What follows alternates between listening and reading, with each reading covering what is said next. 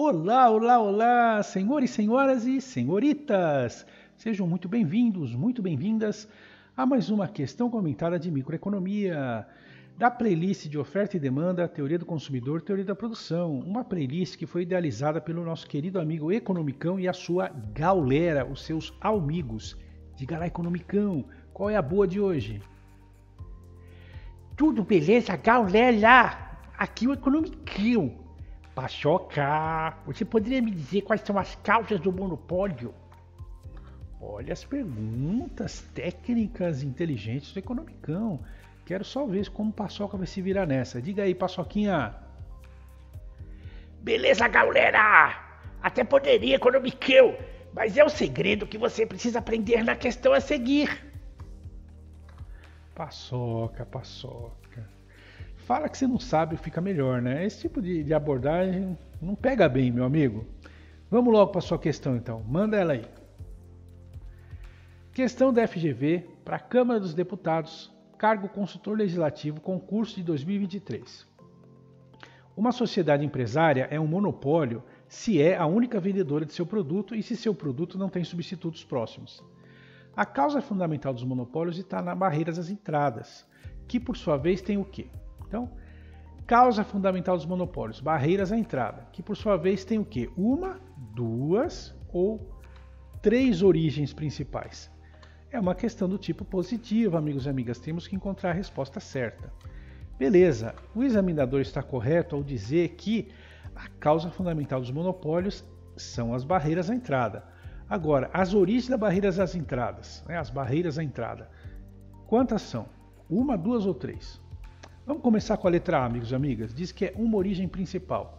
As regulamentações do governo, quando o governo concede a uma única empresa o direito exclusivo de produzir um determinado bem ou serviço. Beleza. É uma origem. É uma origem. Agora, é suficiente essa origem? Apenas isso garante o monopólio? Para determinados produtos, sim. Por exemplo, o exemplo clássico, petróleo. É, até meados da década de 90 era monopólio né, a produção de petróleo. Né? Depois foi, foi flexibilizado. Estava na Constituição, inclusive. Agora, é fácil de fazer isso pelo, pelo motivo de que a produção de petróleo não é qualquer um. Você não pode sair por aí, ah, vou produzir petróleo. Requer um investimento altíssimo, não é qualquer empresa que vai ter esse tipo de condição. Então, a regulamentação do governo, sim, ela funciona, mas ela tem as suas limitações. Exemplo, se o governo quiser regulamentar o monopólio dos sabonetes, não vai dar certo. Por que, que não vai dar certo, professor? Porque dali a uma semana, um mês no máximo, vai aparecer um mercado paralelo de sabonetes, porque é um produto relativamente fácil de produzir. Agora, dá para fazer um mercado paralelo de petróleo? Difícil, né? Fazer um mercado negro de petróleo. Primeiro que não dá para esconder, né?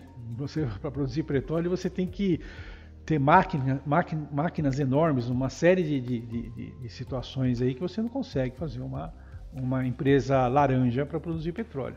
Entenderam? Então, quando você fala que as regulamentações do governo é, seria origem, correto, mas uma origem só está incorreto. Ela é muito pouco, né? não é suficiente para você garantir as barreiras à entrada. Na letra B, C e D, você tem duas origens: regulamentações do governo e processo de produção, recurso e monopólio e processo de produção e recurso e monopólio e regulamentações do governo. Tá melhor que a alternativa A, beleza. Só que ainda falta, né? Duas são melhores do que uma, mas são insuficientes ainda. O gabarito é a letra E, que diz três origens principais. Recurso de monopólio, quando o recurso-chave necessário para a produção é exclusivo de uma única empresa. Regulamentações do governo, quando o governo concede a uma única empresa o direito exclusivo de produzir determinado bem ou serviço, e o processo de produção, quando uma única empresa consegue fornecer produtos a custo mais, mais baixo que um grande número de produtores. Então, não adianta você ter só a regulamentação do governo, não adianta você ter apenas recurso e monopólio, ou recurso, monopólio e regulamentações, você precisa ter as três, né? As três partes aí para você confirmar as barreiras de entrada, né? as barreiras à entrada recurso e monopólio, regulamentações do governo e processo de produção. Beleza? Portanto, o gabarito é a letra E de elefante. Se você não concorda, se você tem alguma dúvida, mande seu comentário. Fico à disposição para te ajudar. Lembrando a todos que meu nome é Luiz Miranda e meu compromisso é o de trazer todos os dias no canal pelo menos uma questão de concurso comentada em vídeo para ajudar na sua preparação. Um forte abraço, até o próximo vídeo. Opa, opa, opa, Economicão. Diga aí, meu amigo Economicão. Fala o que você quer dizer para a nossa galera.